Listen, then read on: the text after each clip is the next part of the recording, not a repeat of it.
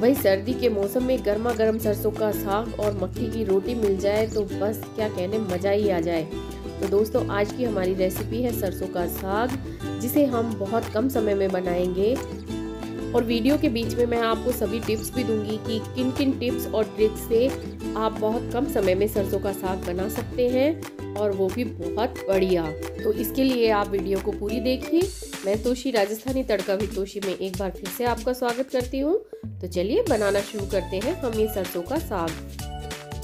तो ये स्वादिष्ट सरसों का साग बनाने के लिए हमें सबसे पहले तो चाहिए सरसों। तो ये देखिए, ये मैंने एक किलो के करीब सरसों ली है। जिसे बहुत बड़े बड़े डंठल होते हैं इसके, उन्हें मैंने पहले ही हटा दिया था। लेकिन अभी मैं इसे थोड़ा सा और साफ़ करूँगी। तो ये देखिए, इस तरह से हम ये जो आगे के डंठल है, इन्हें हटा देंगे। तो इस तरह से हम इसे जो ये आगे के डंठल हैं, उन्हें काट देंगे। ये देखिए। तो बस इस तरह से हमें पूरी सरसों को साफ़ कर लेना है। और जो पत्तों के पास से जो कच्चे कच्चे डंठल होते हैं, ये हम रखेंगे, क्योंकि इनमें बहुत ज़्यादा मात्रा में फाइबर होता है। इसलिए बहुत ज़्यादा छोटा भी हम नहीं करेंगे। तो ये देखिए, पूरी सरसों मैंने काट ली है। और ये मैंने करीब 250 ग्राम बथवा लिया है, जिसे भी मैंने साफ़ कर लिया है। ये देखिए, इस तरह से पत्ते पत्ते मैंने तोड़ लिए थे। और मैंने 250 ग्राम की ये पालक लिया है, जिसे भी मैंने साफ़ कर लिया।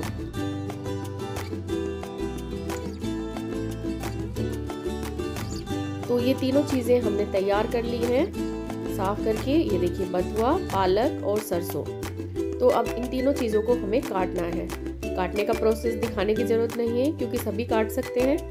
तो ये देखिए, तीनों चीज़ों को मैंने काट लिया है और अब इन्हें मैं अच्छे से धो लूँगी। हरी सब्ज़ी हम जब भी बनाते हैं तो हमें हरी सब्जियों को बहुत अच्छे से धोना होता है, क्योंकि इसमें बहुत ज़्यादा मिट्टी निकलती है।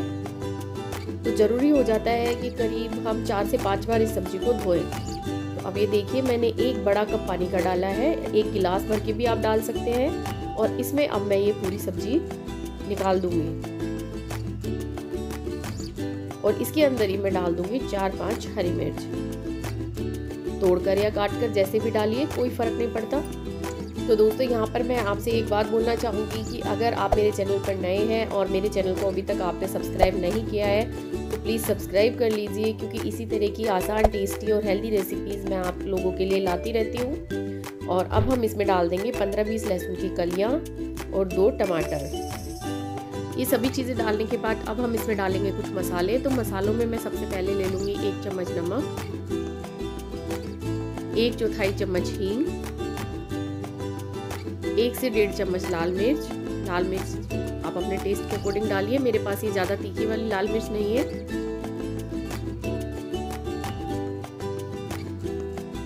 और इसे इस तरह से हम कर देंगे। और इसके बाद अब हम इसमें लगा देंगे ढक्कन।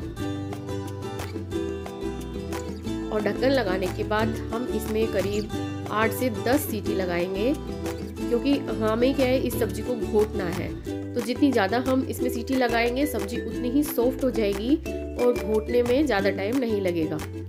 तो आठ से दस सीटी मैंने इसमें लगा दी थी। और ये देखिए, सब्ज़ी इस तरह की हो गई है। अब हमें इसे घोटना है। तो मैं आपको घोटने के तरीके बताती हूँ कि आप किस किस तरह से इसे घोट सकते हैं। तो ये देखिए, इस तरह से आप इसे घोट सकते हैं। कोई भी मेशर लीजिए और इसे घोटिए। हाँ थोड़ी इसमें मेहनत ज़रूर लगती है, लेकिन इस तरह से जो हम सब्ज़ी बनाते हैं, उसका टेस्ट बहुत अलग ही आता है। और दूसरा तरीका ये है कि आप ये कोई भी दही मत्ती लीजिए और इस तरह से इसे घोटिए। और तीसरा तरीका ये है कि इसे थोड़ा ठंडा करके मिक्सी जार में डाल के एक से दो बार चला लें, लेकिन बिल्कुल चटनी के जैसा भी नहीं पीसे। और अभी एक तरीका मैं आपको और बताऊँगी कि किस तरह से आप इस सरसों के साग को घोट सकते हैं। उससे पहले ये देखिए, मैंने लिया है करीब आधा गिलास पानी और उसमें मैंने डाल दिया तीन से चार चम्मच मक्की का आटा। तो ये तीन चार चम्मच मक्की का आटा पानी में घोलेंगे हम। अगर मक्की का आटा आपके पास नहीं हो तो आप बेसन भी ले सकते हैं। तो देखिए, सारी गुठलियाँ हमें इसकी ख़त्म कर लेनी है। और इसके बाद इसे हम डालेंगे इस साग में। तो इस साग में हमने इसे डाल दिया है। और डालने के बाद हम गैस को जला देंगे और जला करके इस तरह से घूटते रहेंगे तो सब्ज़ी थोड़ी देर में घुट जाएगी। लेकिन अगर आप इस तरह से नहीं घोटना चाहते और अगर आपके पास में इलेक्ट्रिक बीटर है तो देखिए मेरे पास में ये बीटर है। आप इसको दो से तीन बार इसमें चला दीजिए। बहुत ज़्यादा नहीं चलाना है, सिर्फ़ दो से तीन बार, क्योंकि हमें इसे घोटना है, इसका पेस्ट नहीं बनाना है। तो सब्ज़ी अच्छे से घोटने में आ जाएगी। ये देखिए इस तरह से। तो आप इस तरह से भी सब्ज़ी को घोट सकते हैं। लेकिन इस चीज़ का ध्यान रखें कि आप गरम गरम सब्ज़ी में बीटर को ना चलाएँ, सब्ज़ी थोड़ी ठंडी कर लें और उसके बाद चलाएँ। उसके बाद ये देखिए, मैंने अब गैस जला दी है और पाँच से सात मिनट के लिए मैं इसे अभी और पकाऊँगी। तो ढक्कन को मैं इसके ऊपर ढक दूँगी और इस तरह से मैं इसे करीब पाँच से सात मिनट के लिए पका लूँगी। तो ये देखिए कितना बढ़िया साग हमारा बन करके तैयार हुआ है। लेकिन अभी हमारा साग पूरी तरह तैयार नहीं हुआ है। अभी तो इसमें तड़का लगाना बाकी है। तो देखिए, तड़के के लिए हम ले लेंगे देसी घी। चाहे तो आप रिफाइंड में भी लगा सकते हैं, लेकिन देसी घी से जब हम तड़का लगाते हैं तो सरसों के साग में बहुत बढ़िया टेस्ट आता है। तो ये करीब दो तीन चम्मच मैंने इसमें देसी घी डाल लिया और उसमें डाल दी मैंने चार सूखी हुई लाल मिर्च। इसके बाद हम इसमें डालेंगे पंद्रह बीस कलियाँ लहसुन की।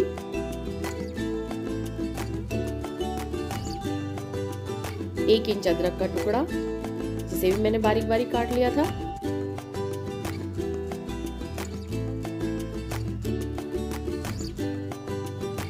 और इसके बाद अब हम इसमें डाल देंगे दो प्याज बारीक बारीक कटे हुए और दो तीन हरी मिर्च। सभी चीज़ों को हम हल्का सा ब्राउन कलर आने तक भून लेते हैं। इसमें से जो ये मिर्च है, ये मैं निकाल लेती हूँ, जो कि गार्निशिंग के काम आएँगी। और ये देखिए, हल्का सा ब्राउन कलर इन सभी चीज़ों पे आ गया है और अब इसमें हम डाल देंगे सरसों का साग। तो दोस्तों, कैसी लगी आपको ये सरसों के साग की रेसिपी? आप प्लीज़ मुझे कमेंट करके ज़रूर बताएँ। और रेसिपी अच्छी लगी तो लाइक और फैमिली फ्रेंड्स में शेयर ज़रूर करें।